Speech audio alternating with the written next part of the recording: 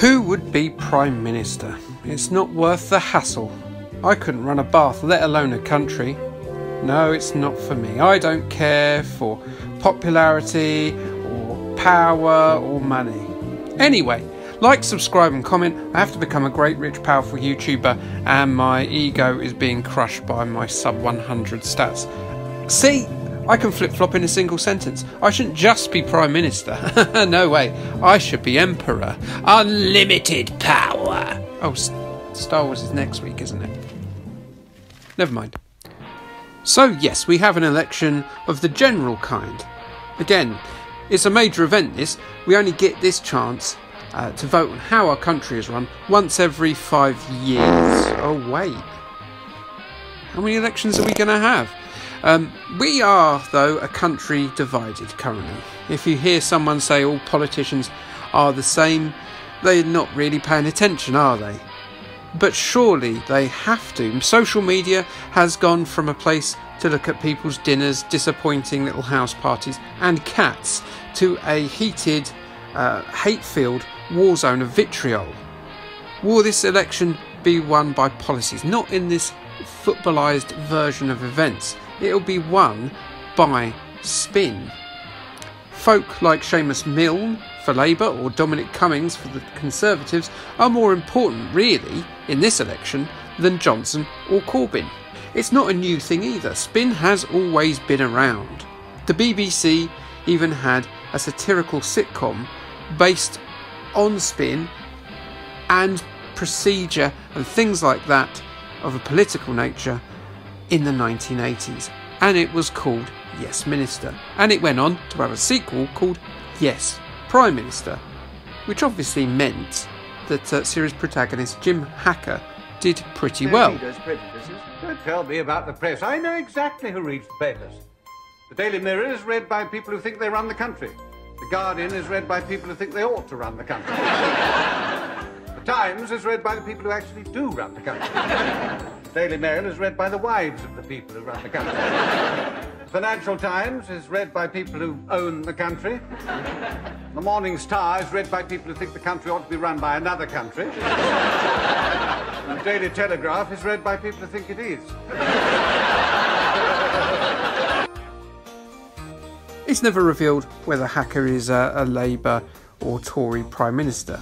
Uh, what he constantly tries to do is formulate or enact or effect departmental and widespread policy changes, but he is usually opposed by the British Civil Service, principally his Permanent Secretary, Sir Humphrey Appleby.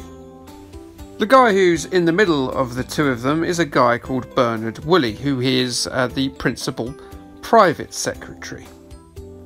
All the while, Hacker has to convince the public that everything is running ever so smoothly, and he is given advice by the pair about that. Yes, Prime Minister ran from 1980 to 1988.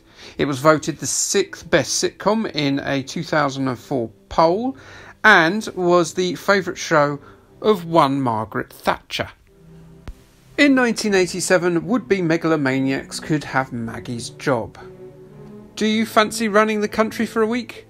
What would you do? I'd fill every UK house with kittens and Labrador puppies to cheer people up, uh, which I'm sure you'd agree would work until people with pet hair allergies, hatred of certain pets, and uh, people that didn't want to clean up poo or feed these pets or pay their vets feels chirped up.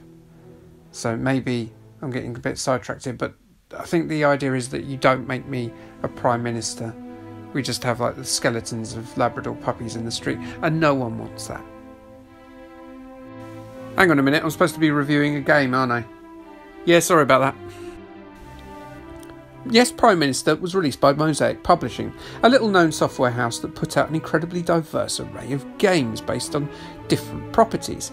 They release games based on books such as Terry Jones's Eric the Viking and uh, the Adrian Mole series, but also one based on the radio drama staple The Archers. I didn't know about that until now. Yes, Prime Minister, though, was a Prime Minister simulator, which is a rare genre indeed. How would such a thing play? Well, according to this game, quite linearly. Um, but surely it has to be to match the concept of the show. Jim Hacker is a busy man. In the game, he has uh, his early morning consists of being besieged by phone calls, telex messages, ask your grandpa about them, um, about road safety, and uh, pre planned meetings about other things that have cropped up uh, for the cabinet in the previous days. Uh, you're juggling with jurisdiction here, mishandling memos, and it's very difficult to keep up with it all. But then nothing happens for a bit too. It feels like a, a regular office job, with its weird runs of high pressure followed by nout. I would imagine this is something prime ministers do feel. It's not a text adventure as such, despite the amount of text being displayed here, as it's streamlined into a multiple choice icon driven interface and it works pretty well. Uh, your mission is to survive a week as Prime Minister. If your approval rating drops too much, you're in a bit of a pickle. Don't you look a bit tired? Um, it's presented fairly well, though really there aren't a lot of actual graphics to go around. The number 10 office is a colourful place, and there are some low res images of the actors from the show. And those previously mentioned great swathes of text are what you'll be staring at for the majority of the game. Luckily for Yes Prime Minister, it's in the text that the quality of the game shines through. The script of the game is a fine representation of that of the TV show. The answers you respond with, be it about wind turbines or putting a positive spin on an errant drunk cabinet minister punching the leader of the opposition in the face in the Westminster bar are reflective of those of the show and its characterisations. They could have been taken from the scripts of the uh, TV show and placed into this Spectrum tape.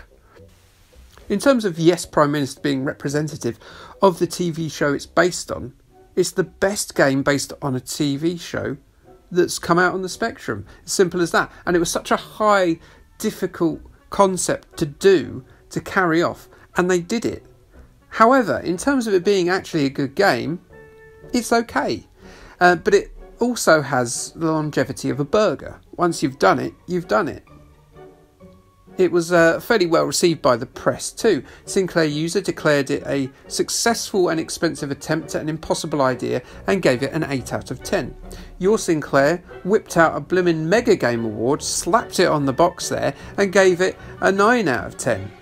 Look at them go. Crash though, well, they weren't so excited and uh, they stated that while it was an interesting idea and there's some entertaining text, there's not much variety or interaction and gave it a lowly 56%. Ouch. I'm sort of with them, but that does seem a little bit harsh. What a busy December 2019 has, eh? Or has had if you're watching this on Corbyn's free Wi Fi stroke from the comfort of your insurance paid for hospital bed. Delete where appropriate. We've got Christmas as ever and all the associated misery, stroke joy, delete where appropriate, that goes along with that. We've also got the last episode of the Star Wars Skywalker saga, just like uh, we had in 1983 and 2005. Maybe we'll get another one in 10 years, along with an absolutely fantastic, stroke awful uh, delete where appropriate Star Wars TV show at the same time. If you're American or a dodgy pirate, yarg. Expect videos based on all those things Star Wars and Christmas. Ooh, room for a retro treat. I don't even convince myself that I sound excited anymore. Okay, thanks. Bye bye.